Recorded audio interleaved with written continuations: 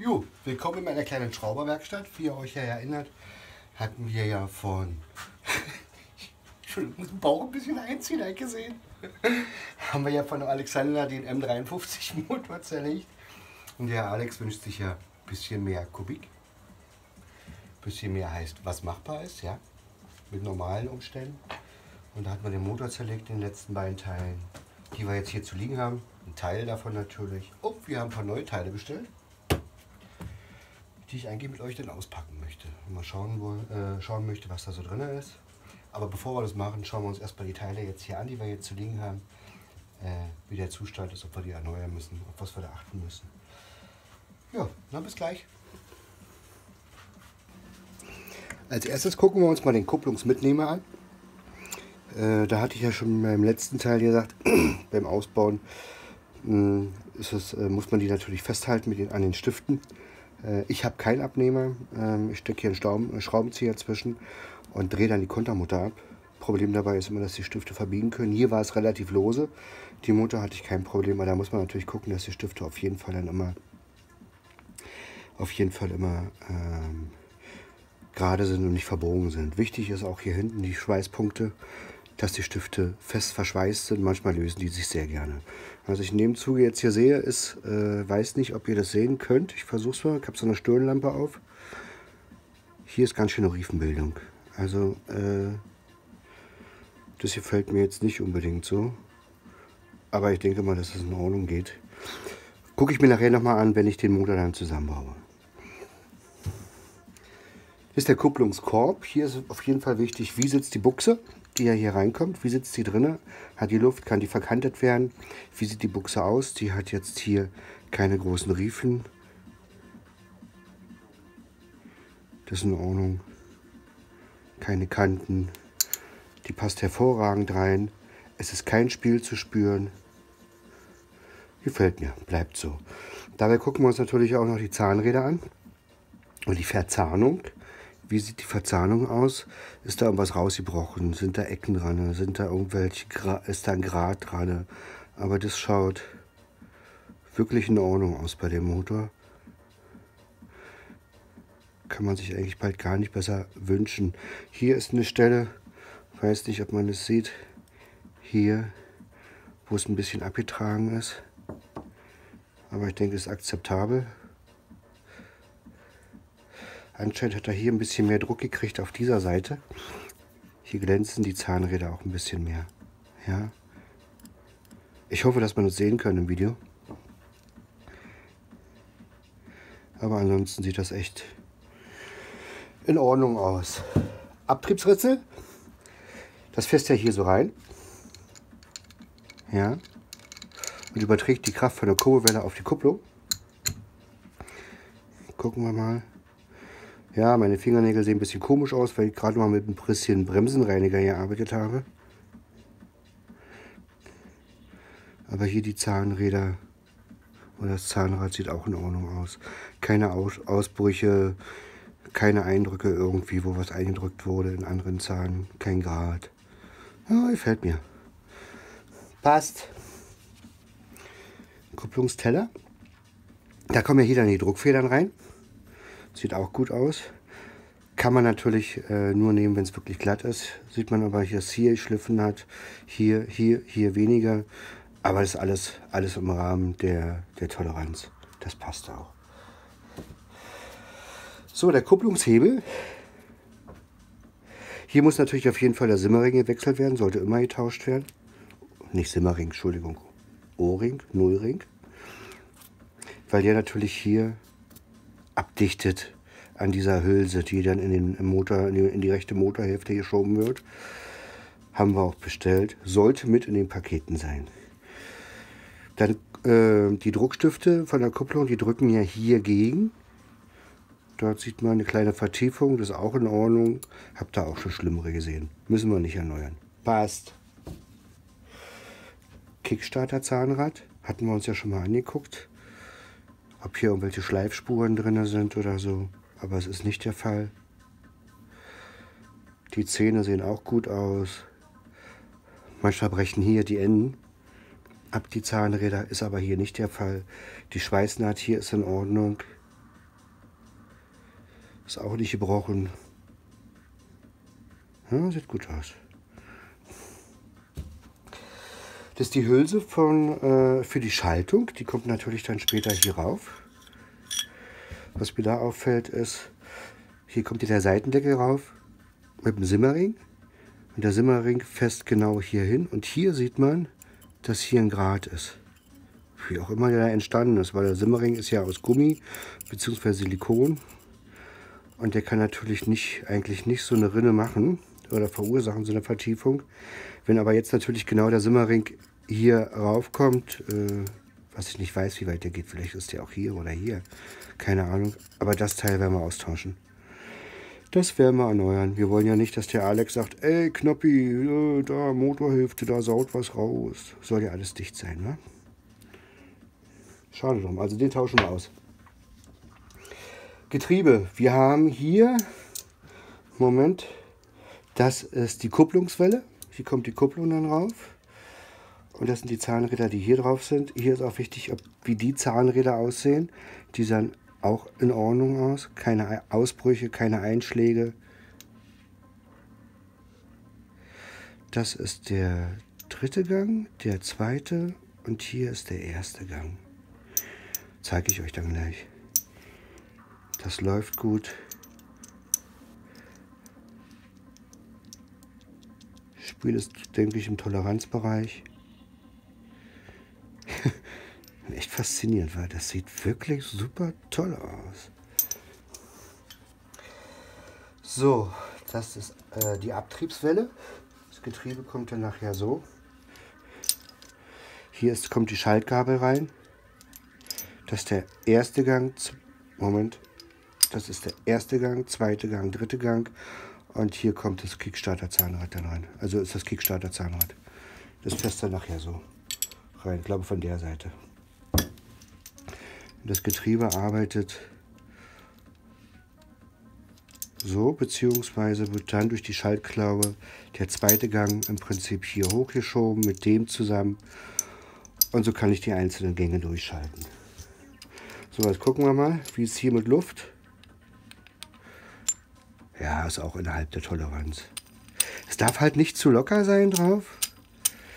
Äh, auch nicht zu fest. Zu fest kann immer sein, beim, wenn das Getriebe schnell dreht bei hohen Drehzahlen, dass hier zu wenig Schmierung hinkommt und letztendlich äh, dann äh, hier so ein, äh, sich das Zahnrad festfrisst auf der Welle.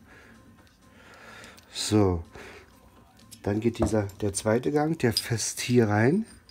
Beim Esser zum Beispiel habe ich es oft gesehen, das ist ja ähnlich, dass die Stifte teilweise nicht mehr rund, sondern oval sind.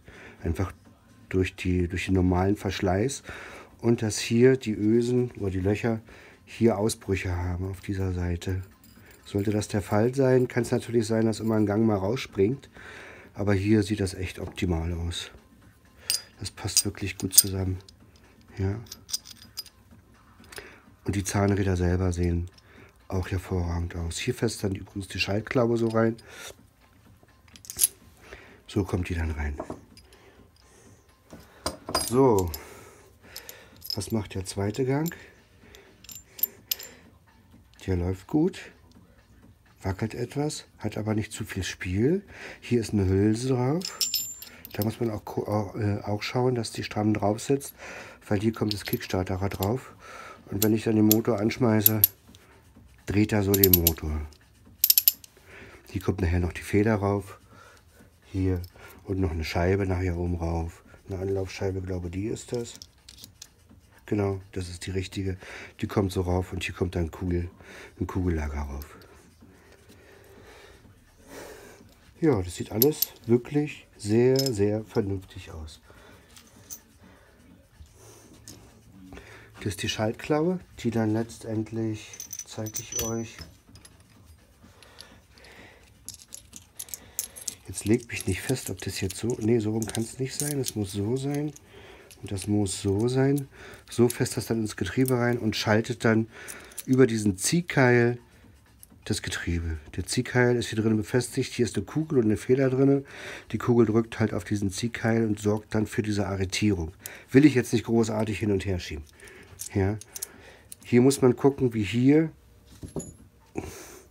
wie stark der Verschleiß an dieser Stelle ist. Ob das großartig abgerieben ist. Auf beiden Seiten. Hier ist ein bisschen geschliffen, ja, das ist okay, hier gar nicht. Okay, das ist alles, alles in Ordnung. Ja, gut. Ich denke, die Teile können wir alle wieder einbauen, außer das. Den tauschen wir aus. Erste Paket von 1, 2, 3, 4. Gucken wir mal, was da drin ist. Jede Menge Plastikmüll. Da haben wir diverse Dichtungen. 23,80 Euro. Naja, habe ich einen Online-Shop bestellt. Diverse Ersatzteile. Verschleißteile, die man natürlich immer auspacken sollte. Dichtung, Schrauben, was weiß ich.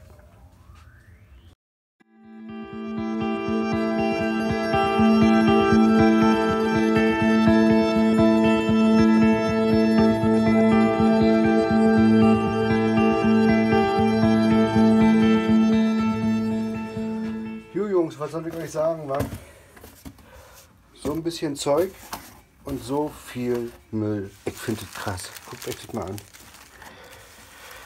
Tut es wirklich Not, dass jede Teil extra verpackt ist, nur um den Scancode darauf zu kriegen? Äh, wirklich. Also da sollte sich die Herren einfach überlegen. Ich finde das unmöglich. Und ich bin nur einer, der bestellt hat. Jetzt im Winter bauen ganz viele Leute an ihren Summis, bestellen da massenweise von Material weil die einfach sehr viel Material, äh, Werkzeug, äh, Werkzeug, Quatsch, Ersatzteile auch haben und liefern, aber, aber das muss da wirklich nur sein für so ein paar Teile, oder? Hier. Naja, ah schöne Grüße an die Umwelt. Also, was haben wir jetzt hier? Wir haben jetzt hier ähm, den Schrau das Schraubenset für den M53 Motor. Habe jetzt hier Imbo bestellt. Ganz einfach äh, die lassen sich schön äh, festschrauben und kann sie im Nachgang ohne weiteres wieder rausschrauben. Ich mag die. Ich benutze die am liebsten. Dann haben wir hier Dichterungen. Die kommen äh, an den linken Motordeckel vor der Kupplung.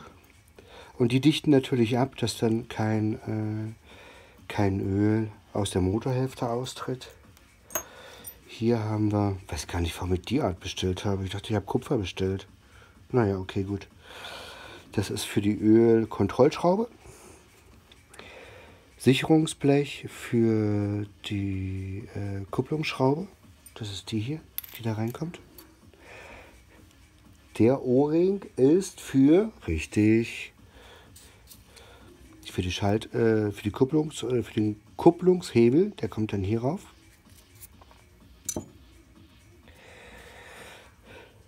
Die Buchsen, äh, Silentbuchsen sind für den Zylinderkopf. Moment, wo ist der Zylinderkopf? Der ist hier, die wollten wir austauschen. Aber brauchen wir nicht mehr. Wird dann nachher sehen, warum.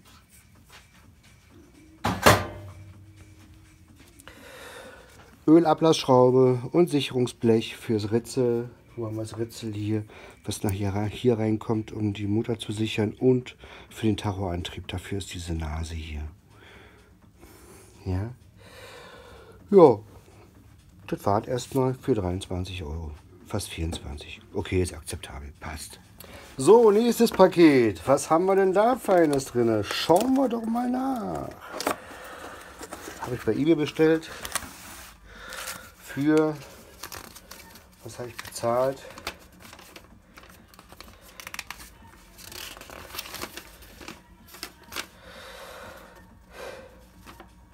Vierzig einundachtzig. Oh, Nervennahrung.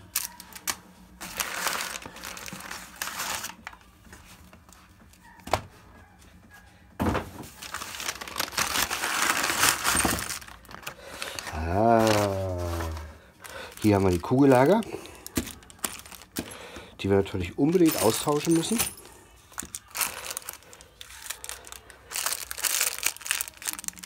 Die Simmeringe, da gehen die Meinungen ja auseinander, braun oder blau oder was weiß ich was. Ich muss ganz ehrlich sagen, mir ist das eigentlich so Latte, weil ich fahre nicht mehr wie zu Ostzeiten jeden Tag mit dem Moped. Und der Alex wird das auch nicht machen. Die werden die nächsten zehn Jahre überleben.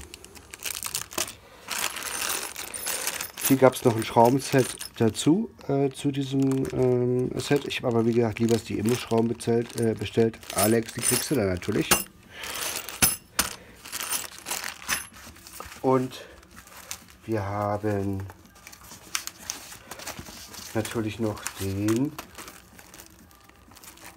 Dichtungssatz, den wir natürlich auch brauchen. Was haben wir denn da Feines drin? Hm. Hm.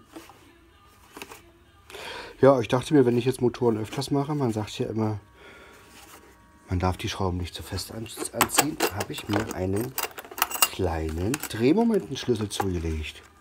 In irgendeinem so Online-Fahrradshop, weiß gar nicht, was ich ihm bezahlt, 25 Euro oder so. Einstellbar.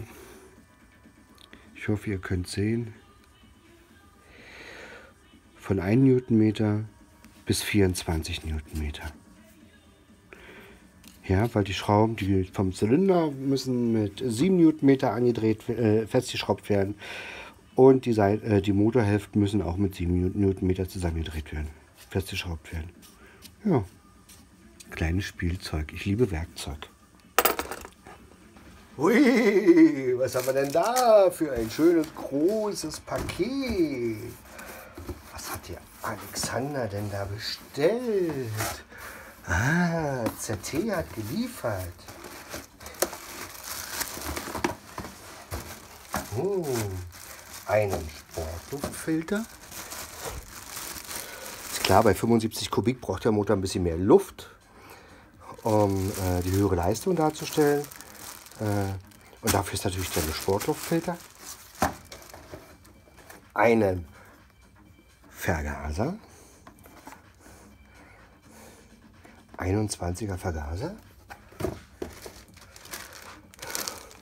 Der Alex war großzügig. Er hat sich sogar neue Kupplungsscheiben spendiert. Macht ja auch Sinn. Die Leistung muss ja übertragen werden. Nicht? Denn irgendwo sagt ZT, dass wir rauskommen bei 11 PS. Und äh, die Leistung muss natürlich übertragen werden. Aber das Entscheidende ist ja auch Drehmomenten. Nicht? Hat, der, hat der Motor ja auch erheblich mehr. Dann haben wir hier, nein, kein Pleuel, eine Kurbelwelle. Tata. Jetzt wird es spannend.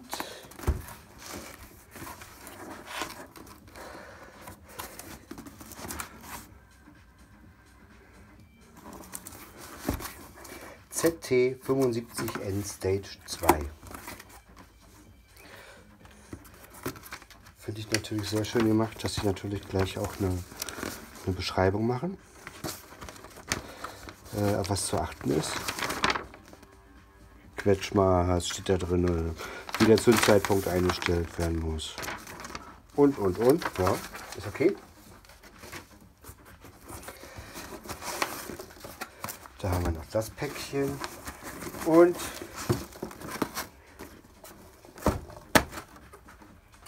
den Zylinder. Jo, dann fangen wir mal an. Ne?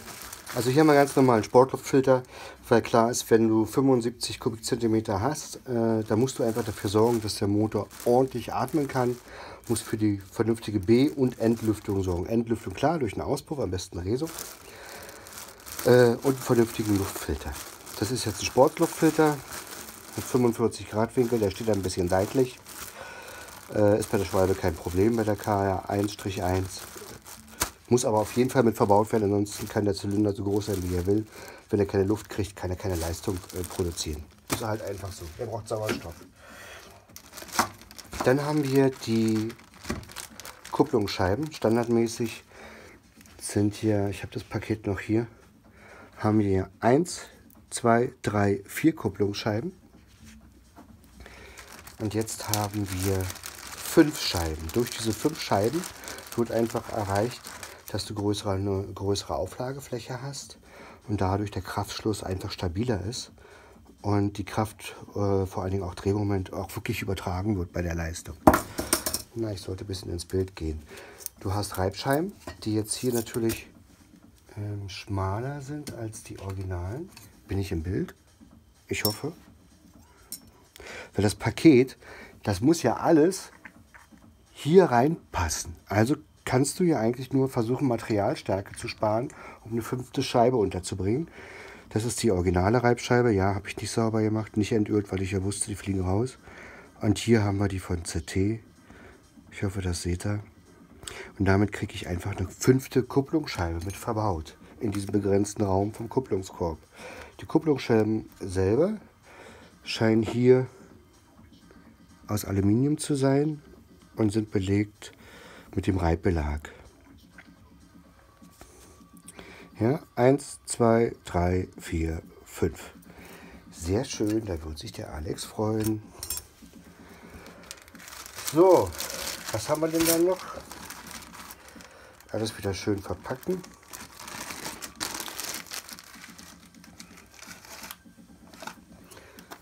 Wir haben den Vergaser. Also ich selber, ich hatte mir mal eine Enduro aufgebaut mit 85 Kubikzentimeter von PZ-Tuning von Paul, die gelaufen ist für die Hölle. Da findet ihr auch ein Video bei ihm auf seiner Seite, wie er Leistungstest macht. Mit, die hat dann 15,5 PS gebracht und ich hatte von der RZT einen Vergaser. War sehr zufrieden mit dem Vergaser. Hier haben wir jetzt einen 21er. Wir haben noch äh, andere Hauptdüsen drin. 21 mm deshalb, weil einfach, äh, wie gesagt, der Motor, um die Leistung zu produzieren, braucht ja einfach Luft. Je größer der Durchlass natürlich ist, umso mehr Luft, Kraftstoffgemisch äh, gelangt in den Verbrennungsraum und kann dann auch zur Explosion gebracht werden, ähm, um die Leistung zu produzieren. Ich hoffe mal, dass der voreingestellt ist. Wird ja bestimmt in der Beschreibung stehen. Schön ist auch hier unten, die Schraube, dass ich einfach ohne großartig den äh, auszubauen, den Vergaser, äh, die Hauptdüse wechseln kann, wenn es dann gehen würde. Weil hier unten ist ja dann der Motor. Und wenn ich die Schraube abhabe, wie, wie will ich denn dann die, ähm, die Hauptdüse wechseln? Aber es ist natürlich einfacher, hier aufzuschrauben, als dann hier die ganze Schwimmerkammer. Ja, ja da ist jetzt noch ein zweiter Schwimmer mit drin. Warum auch immer. Ich denke mal, dass der hier auch drin sein wird. Das sehen wir dann mal im Zusammenbau. So, wieder schön verpacken.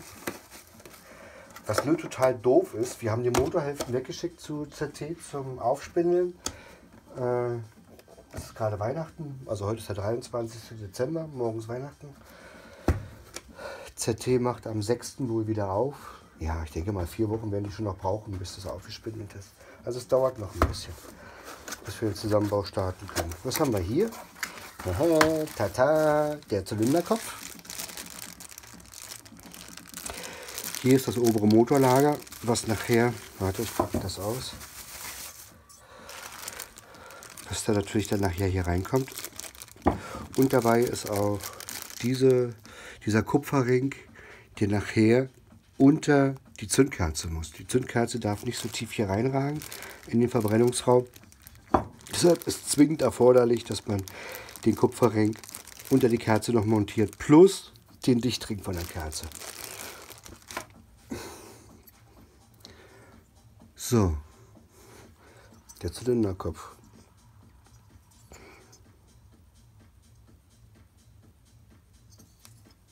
Sieht schon krass aus. Also wenn man jetzt einen normalen Zylinderkopf hat, da hat man ja meistens, ist ja gegossenes Aluminium, dass da irgendwelche Lunkern drin sind, kleine Löcher oder so hier im Brennraum. Das ist jetzt hier überhaupt nicht, ist ausgedreht. Allerdings sieht man jetzt hier, dass die Bohrung an der Dichtfläche hier unterbrochen ist. Ist einfach der Tatsache geschuldet, man kriegt einfach halt keinen größeren äh, Hubraum hier realisiert, ohne große Umbaumaßnahmen, weil einfach die Stehbolzen, die haben ja ihre feste Position und man kommt hier einfach nicht weiter mit einem größeren Durchmesser. Je größer der Durchmesser vom Brennraum ist, je größer ist ja auch der Hubraum. Ja? Deshalb ist man hier wirklich am Limit. Aber das sieht natürlich schon krass aus.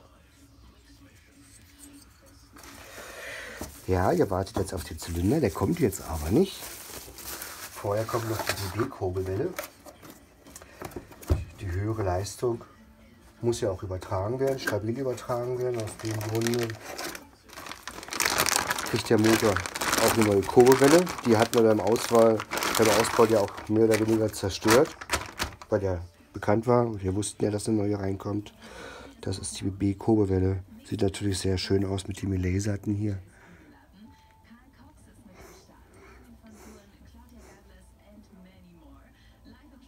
Mhm. Sieht toll aus. Und? Keine Luft drinne. Nadellager ist natürlich auch dazu versilbert, um einfach äh, dafür Sorge zu tragen, dass die Kraft stabil übertragen wird äh, und äh, das obere Nadellager nicht verschleißt. Schön ist auch obere Nadellager. Ich muss nicht 1 zu 25 äh, tanken, kann 1 zu 33 fahren. Man kann wohl auch 1 zu 50 fahren, würde ich aber persönlich nicht machen. Ja, schönes Teil.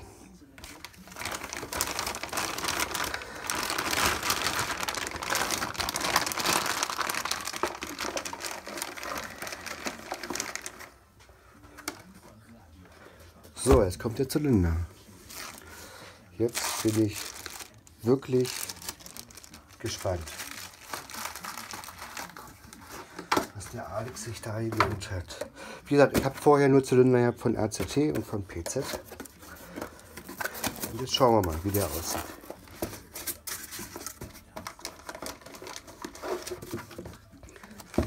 Es ist Weihnachten. Geschenke, Geschenke, Geschenke. Stehbolzen. Dichtung für den Vergaser mit 21 mm. Anlaufscheiben für den Kolben. Ich glaube, ich setze mal wieder die Stirnlampe auf, dass ihr ein bisschen besser sehen könnt. Moment bitte. So, es werde Licht. Dann haben wir diverse Fußdichtung. Jetzt hier drei Stück in verschiedenen Stärken, denke ich. Genau. Dass man nachher das Quetschmaß dann auch äh, einstellen kann. Quetschmaß ist ja sehr wichtig nachher, um die optimale Leistung und den, die Drehzahl auch rauszukriegen. Je, höher, je geringer das Quetschmaß ist, umso besser. Aber je mehr Hitze entsteht auch bei der Verbrennung, ähm, man darf es auch nicht übertreiben. Ich glaube 0,9 darf das Quetschmaß sein. Zeige ich euch später, wenn wir soweit sind. Kolbenbolzen, und die äh, Kolbenclips. So, da ist er. Macht ja erstmal einen sehr schönen Eindruck. ZT-Tuning steht drauf. Kolben 48,95. Der Zylinder hat 48,96. Ist ein Einringkolben. Einfach äh, dadurch habe ich weniger Reibung äh, beim Verbrennungsprozess, beim Arbeitsprozess und kann einfach höhere Drehzahlen erreichen. Wenn ich zwei Kolbenringe habe, habe ich einfach mehr Reibung. Allerdings läuft der Kolben auch stabiler. Der kann natürlich jetzt, weil er hier oben festgehalten wird, könnte er ein bisschen küppeln und klappern und auch ein bisschen klingeln. Und ich verliere natürlich ein bisschen Verbrennungsgase, weil ich hier jetzt natürlich den Kolbenring, wenn der zusammengedrückt ist, habe ich einen kleinen Nut und dann wird er hier ein bisschen Druck verlassen, aber das ist minimal. Ich hatte an der Enduro auch einen Einringkolben, war damit sehr zufrieden. Und wie gesagt, nachdem äh, PZ da die Steuerzeiten gemacht hat, war das ein total geiler Zylinder. So, kommen wir zum Wesentlichen. Der Zylinder. Ach ja, was mich mal interessiert, genau. Ich guck mal, ich hole mal den alten Kolben. Wo ist der alte Kolben? Mal zum Vergleich. Ach, jetzt kriege ich den Kolbenbolzen nicht raus. Das ist ja blöd. Wartet mal. Uno momento.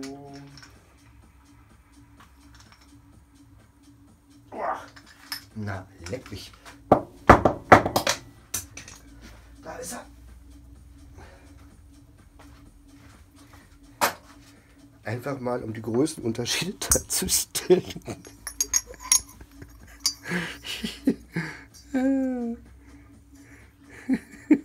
50 Kubikzentimeter und 75 Kubikzentimeter. Muss ich mehr sagen? Ja, das ist dann Das ist schon ein kleiner Unterschied. so, gut. Der kommt wieder weg, den brauchen wir ja nicht. Dann kann der Alex zurückkriegen. So, jetzt bin ich ja gespannt, wie der Zylinder selber aussieht. Also hier sieht man, dass hier nachgearbeitet wurde. Also schön finde ich natürlich die Optik von dem Zylinder von außen. Ob das jetzt von der Produktion kommt, ob der Sand gestrahlt wurde, keine Ahnung. Aber das sieht natürlich vom Aluminium sehr schön aus. Denke mal auch, ist wichtig, um die Hitze übertragen zu können. So, dann haben wir die Überströme, die haben wir ja hier. Da ist natürlich wichtig, dass die Gase ohne Widerstand durchgehen können. Und da sehe ich auf den ersten Hieb, ich habe keine Ahnung, ob ihr das sehen könnt. Ich hoffe es. Ich mache mal die Lampe ein bisschen anders. Da sieht man hier drinne Rückstände, kleine Unebenheiten. Diese Unebenheiten provozieren natürlich kleine Verwirbelungen, die dann verhindern, dass die Gase ohne großen Widerstand in den Verbrennungsraum kommen können. Also ich dachte eigentlich, dass der, dass der äh, gefräst wurde. Der wurde aber so gegossen, wie er jetzt hier ist. Das ist einfach dem Produktions- dem Herstellungsprozess geschuldet. Hier diese Stelle. Ich hoffe, ihr seht das. Hier haben wir Kanten. So, und dann sehe ich auch hier an der Stelle sieht es nicht unbedingt sauber aus. Hier sehe ich kleine Unebenheiten.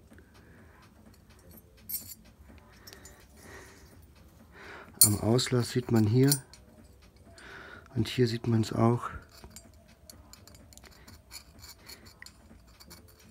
Also ich muss jetzt gerade sagen, bin ein bisschen, ein bisschen enttäuscht. Man kann es natürlich nacharbeiten, ich leider nicht, weil ich äh, mein Dremel, der kommt nicht so tief in die Überströme rein.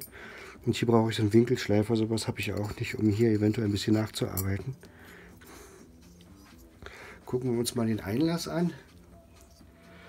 So, hier ist der Einlass. Ich versuche das mal ein bisschen so zu machen. Und da sieht man letztendlich, dass hier hinten auch eine Kante ist. Ja, die muss weg. Wenn da Verwirbelungen entstehen, dann ist das scheiße. Die Gase müssen da ohne, großen, ohne große Probleme letztendlich in den Verbrennungsraum gelangen.